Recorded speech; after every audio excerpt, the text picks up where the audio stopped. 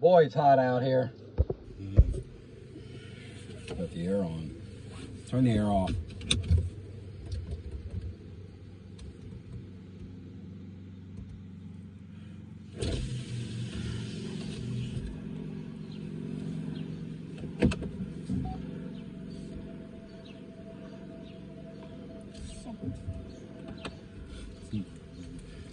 it's gonna.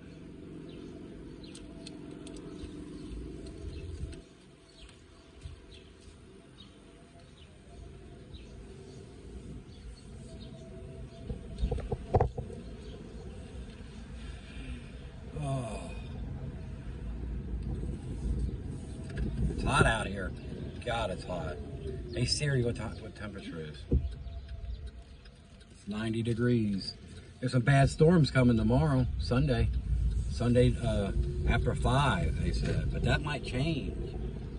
Yeah, we're on the bullseye. Yeah, isn't that crazy? So you going there tomorrow.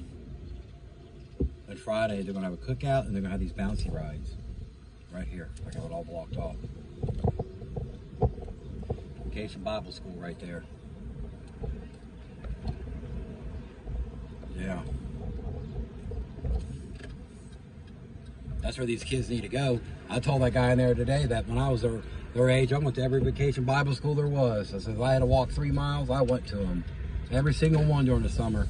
I probably went to 30 different vacation Bible schools in the summer. 30 of them. All summer long. Isn't that crazy? Now these kids nowadays want to go out and shoot guns and I'm talking teenagers, you know, I'm not talking adults, I'm talking 14, 15, 16 years old. And everybody thinks that's okay. Well, it's not okay to me. Nope. My dad told me if you're out there roaming the streets all the time at night, the morning, there's nothing but trouble out there. All these kids are getting themselves in trouble. My friend told me there's more teenagers in prison than adults now. I'm like, wow, that's crazy. Yeah, they won't be able to get a job with a, with a criminal record. A lot of these places, they uh, pull your record. You get a job now. Yeah. It's crazy. That's why it's supposed to storm. It's going to get so hot and steamy that a cold front's going to push through that it's going to be tornadic. You know what I mean? They already got fireworks displays up already. It's nice passing gas stations with this, you know what I mean? Look, Nick T is calling me. Isn't that crazy or what?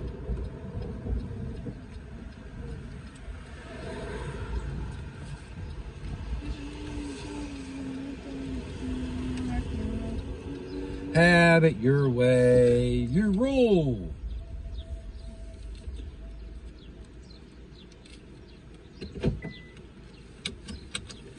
Hold on, stop.